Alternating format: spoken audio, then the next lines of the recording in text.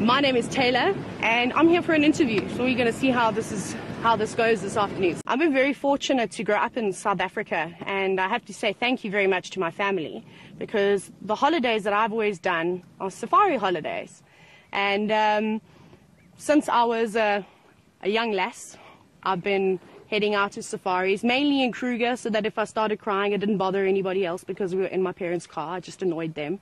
And as I started to get older and behaved a little bit better, we then started to go through to private game reserves throughout South Africa. So I'm originally from the Eastern Cape, from Port Elizabeth actually, which is about a nine hour drive east of Cape Town. It's a little coastal city. And there's some really, really wonderful private game reserves out in that area. So I've been heading in those, and that sort of, uh, bush direction for, for a while. And I kind of expected to go into it. While in high school, my mom bought me a book. It was called Back to the Bush.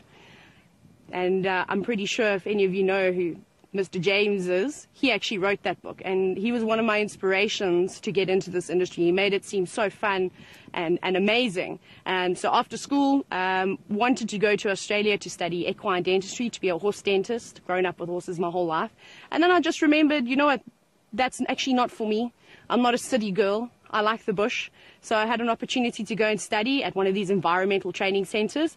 Went and did that. Uh, and fortunately did okay, got a job, and then started from there. Started off in the Eastern Cape, like I said, at, at 19, very young. And um, I worked there for a few years in a, a really wonderful um, private game reserve. Uh, after that, I had an opportunity to move to Zambia where I did a short stint in management, but I decided that I didn't like the paperwork that came with management, and to me it was just an office job in the bush. And I thought, you know, management's just not for me.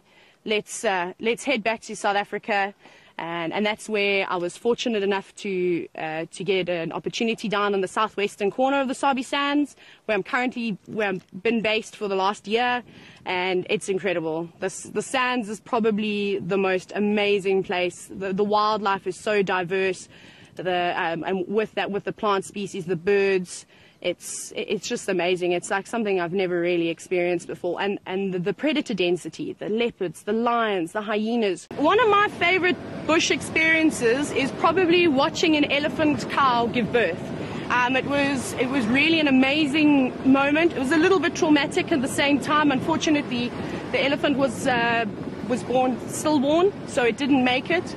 But the whole interaction with the herd and how they came around to try and help and try and get this little one to stand up before they realized that it unfortunately wasn't wasn't alive um, was incredible. It brought tears to everybody's eyes on the vehicle. Um, and I've never really been able to experience something like that again. And I don't think many people can say that they've seen something like that.